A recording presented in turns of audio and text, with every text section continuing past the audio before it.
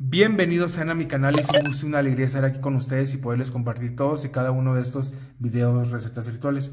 En esta ocasión les traemos un video sumamente interesante acerca de la cruz del perdón. Esta cruz en la religión católica se le conoce como un sacramental, pero realmente es una poderosa protección. Y pues bueno, ¿dónde se originó? ¿Por qué existe? Etcétera, etcétera. Vamos a comenzar. Tiene su origen por allá del año 1905 por el Papa San Pío X. Él fue el que la dio a conocer.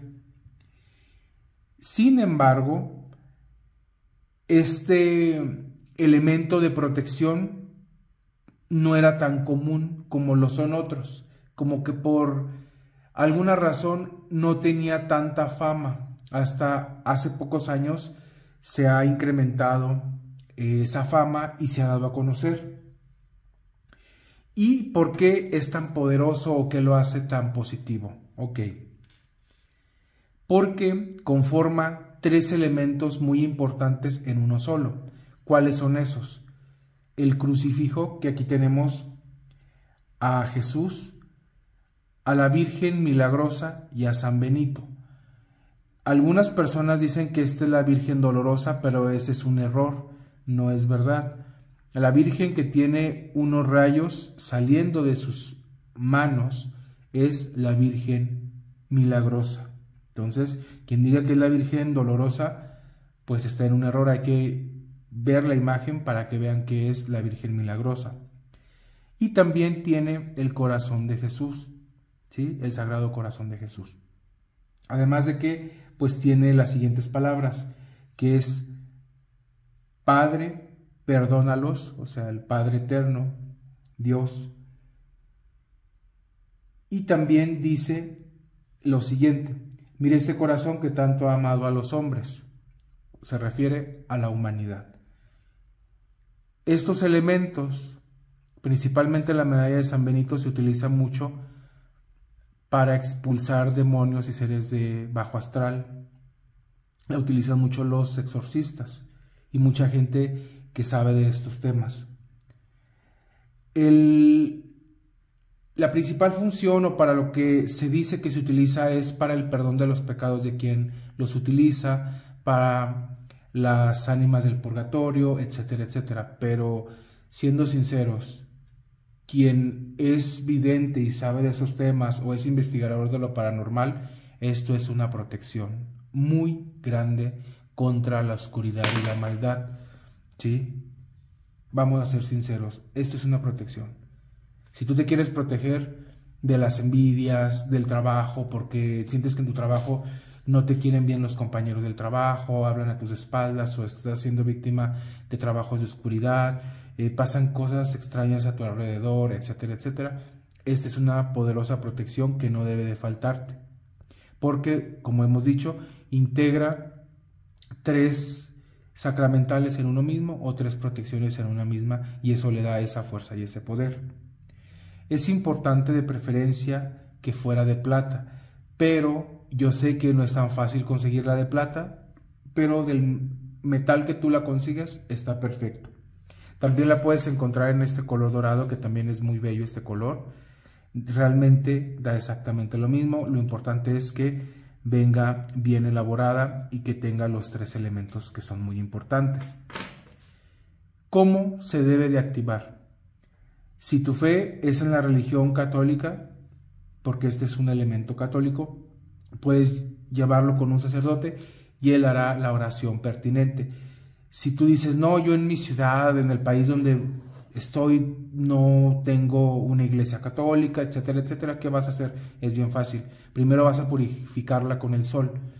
La pones a que le dé directamente los rayos solares mínimo 15 minutos. Si se pasa una hora, dos horas, está perfecto, no pasa nada. Eso es para purificarla de cualquier energía residual de quien no la vendió, del que la elaboró, etcétera, etcétera. Y también la va a cargar con energía divina solar.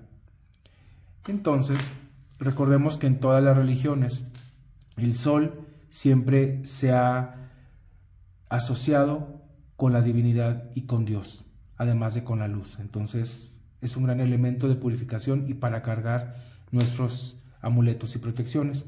Ya que lo hiciste así, puedes optar por hacer la oración individual de cada uno. Hacer la oración de la Virgen Milagrosa y la oración de San Benito. Y también puedes hacer la oración del Sagrado Corazón de Jesús. Si tú lo quieres hacer de forma individual y pides a Dios, al Padre Eterno, a la fuente, a como tú le digas, que te protege, que te bendiga y te haga una gran protección para ti, porque tú lo necesitas para tu vida. Y si lo haces con buena con fe, con intención, créeme que quedará bien activada. ¿Cómo se debe de utilizar? Es como cualquier amuleto de protección. Debes de ponértelo siempre al salir de tu casa. ¿En qué momento se lo puedes quitar? Te lo puedes quitar para bañarte o ducharte y para dormirte.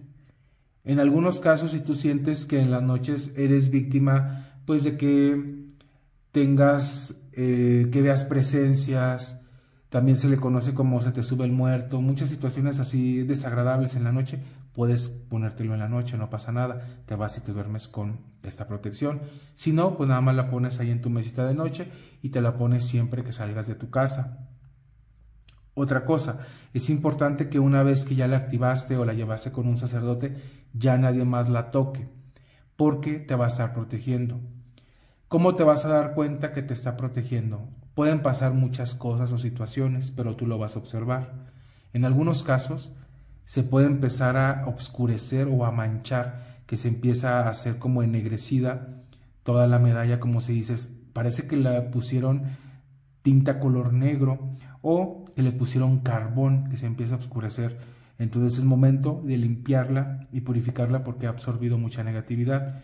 En algunos ciertos casos, no en todos, pudiera pasar que vas caminando por la calle o estás en un determinado lugar y sientes que se calienta demasiado, como si la hubieran puesto bajo el fuego y se empieza a calentar. Eso significa que te está protegiendo contra un daño que es para ti o iba para ti.